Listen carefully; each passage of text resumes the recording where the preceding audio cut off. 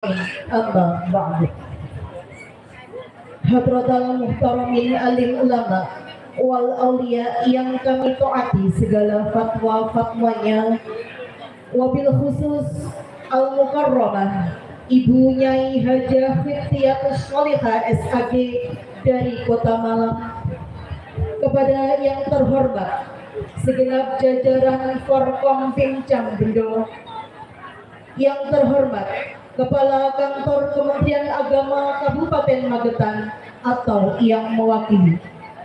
Yang kami hormati Bapak Kepala KUA Kecamatan Bendung, yang kami hormati Bapak Kepala Desa Tanjung, yang kami hormati Bapak Ketua Komite MTSN 9 Magetan beserta anggotanya, yang kami hormati Bapak Ketua Pesantren Desa Tanjung yang kami hormati Bapak Kepala MTSN 9 Magetan beserta segenap jajaran Dewan Guru dan staf tata usaha.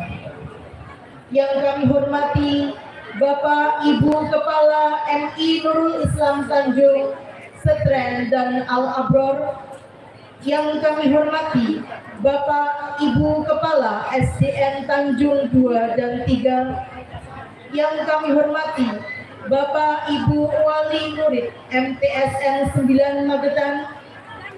Segenap tamu undangan yang tak bisa kami sebutkan satu persatu. Anak-anakku siswa-siswi MTSN 9 Magetan yang kami banggakan serta hadirin wal hadirat yang berbahagia. Pertama dan utama, marilah kita panjatkan puji syukur kehadirat ilahi Rabbi karena segala puji hanya milik Allah. Segala zat yang maha zat yang maha syukur, yang telah memberikan beribu-ribu nikmat yang tidak terukur. Nikmat iman, Islam, ihsan sehingga pada malam yang berbahagia ini kita bisa berkumpul di majelis yang penuh barakah ini dalam keadaan sehat walafiat tak kurang suatu apa pun. Amin ya rabbal alamin.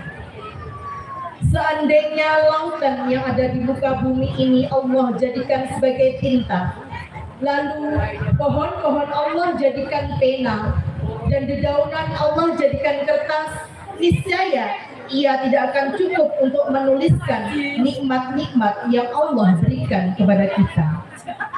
Kedua kalinya salawat serta salam semoga tercurah kepada junjungan kita Nabi akhir zaman seorang nabi yang lahirnya saja membuat goncang alam semesta membuat heboh para malaikat di langit yang kalau bukan karena beliau tidak akan Allah ciptakan alam semesta ini yaitu baginda Rasulullah Muhammad Sallallahu Alaihi Wasallam.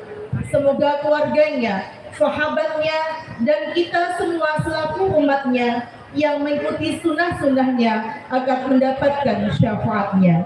Amin, amin, ya Rabbal Alamin. Perkenankanlah di sini kami sebagai pembawa acara akan membacakan susunan acara pengajian umum dalam rangka memperingati Hari Guru Nasional tahun 2023 di MTSN 9 Magetan dengan mengangkat tema membangun generasi milenial yang Qurani dan berakhlakul karimah dengan susunan acara sebagai berikut. Satu pembukaan, dua Gema Wahyu Ilahi, tiga sambutan dari Kepala MTSN 9 Magetan sekaligus laporan panitia.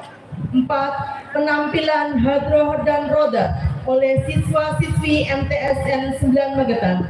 Lima mauidhah hasanah enam doa dan tujuh penutup marilah untuk mengawali acara kita pada malam hari ini kita buka bersama acara pengajian umum dalam rangka peringatan Hari Guru Nasional tahun 2023 di MTSN 9 Magetan dengan membaca umul kitab.